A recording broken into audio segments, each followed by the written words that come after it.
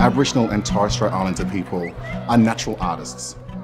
We paint, we sing, we dance. It's all a part of our ceremony.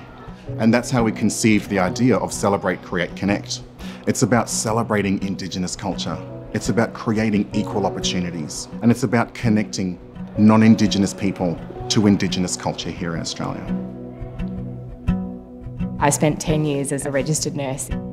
Health is always something that's been very, very important to me and it's something that has informed my practice over time. The feeling behind it was always going to be this focus on Aboriginal perspectives and how that intersects with healthcare and making, you know, Aboriginal patients and families feel safe in that space. Part of my art practice is to encourage people's curiosity to find out more about First Nation peoples in Australia and that we have survived. One of the opportunities that this sculpture presented was that children could actually crawl on it, play on it, climb on it, and for children to be curious about what it is.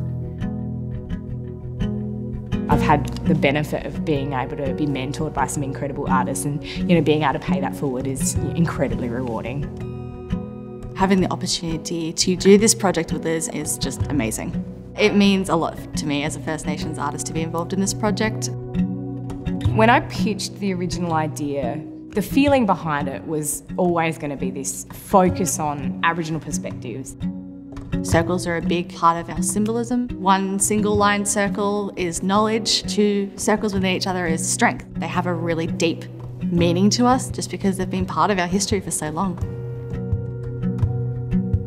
For First Nations people who are visiting the hospital, this sculpture will create a sense of belonging. It's really important for us to show that this is a welcoming and safe place, both culturally and from a healthcare perspective. So we wanted to acknowledge Aboriginal and Torres Strait Islander people and the contribution that they've made to our society. We need to be really mindful of the fact that for Aboriginal people, culture and connection to country and community is really quite an important part of that sort of concept of wellness. When we have Indigenous patients and families coming from all regions around Australia and they see the mural out the front together or they see the sculpture leaf in the Northern Court, they will feel like they are safe here, that they are welcome and they are included in the hospital because that's the very least that Aboriginal and Torres Strait Islander patients and families deserve in a place like the RCH. They're going to see this, this large scale work and see themselves in it, see themselves represented in it, see that, you know, Aboriginal perspectives are something that are welcomed here. For Jill and I, the impact of this project is profound. It's just always been so important in society. You like to give back to something that helps everybody.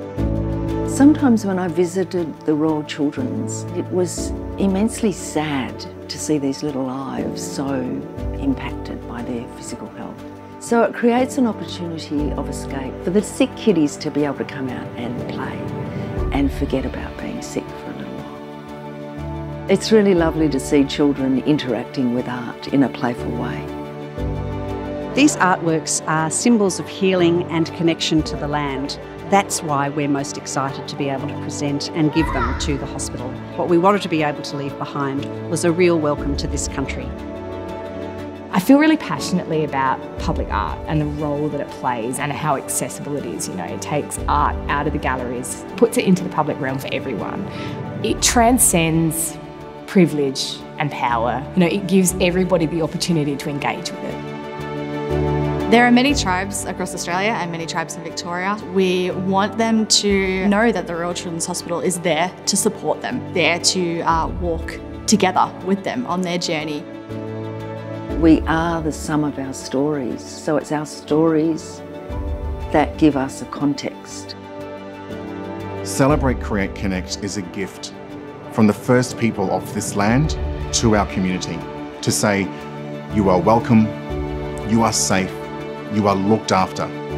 And most importantly, we are still here.